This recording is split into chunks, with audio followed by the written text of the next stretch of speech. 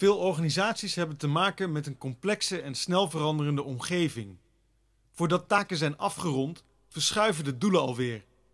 Ook zorgen nieuwe inzichten, reorganisaties en politiek regelmatig voor veranderingen in strategie en richting. Om het nog ingewikkelder te maken, vragen we mensen bovendien om samen te werken aan producten of diensten. Zoals je misschien wel hebt ervaren, leidt dit soms tot vertraging, miscommunicatie en enige frictie. Een goed draaiend team is echter goud waard. Door goede synergie kan je de grenzen van efficiëntie en effectiviteit verleggen. Bovendien geeft het veel meer voldoening als je onderdeel bent van een goed lopend team dat dingen aflevert die echt werken. Vanaf ons prille begin zijn onze breintjes zo ingericht dat we geneigd zijn om met elkaar samen te werken. Stel je bijvoorbeeld eens voor dat je die mammoet in je eentje moet vangen. Om deze oerkracht weer ten volle te benutten, kunnen we gebruik maken van Scrum. Scrum geeft ons een erg praktische manier van werken die teams voldoende houvast geeft om zelfsturend te kunnen worden.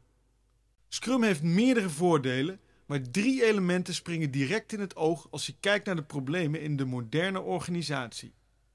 Deze elementen zijn focus, korte cycli en producten die echt klaar zijn. Focus. Tijdens een scrum is iedereen volledig gefocust op de taken die gedaan moeten worden. De zaken die de meeste waarde toevoegen, worden eerst gedaan. Korte cycli. Scrum maakt gebruik van korte cycli die we sprints noemen. Door telkens kleine stukjes van het eindproduct af te maken en te delen met anderen, voorkomen we dat mensen veel tijd besteden aan dingen die niet werken.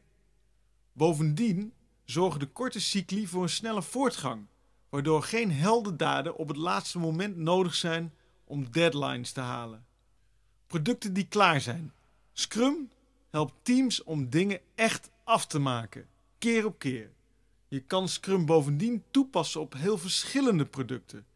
Denk bijvoorbeeld aan beleidsdocumenten, artikelen, communicatiecampagnes, trainingen, video's, boeken, presentaties, websites, tafels, Eiffeltorens, UFO's, etc.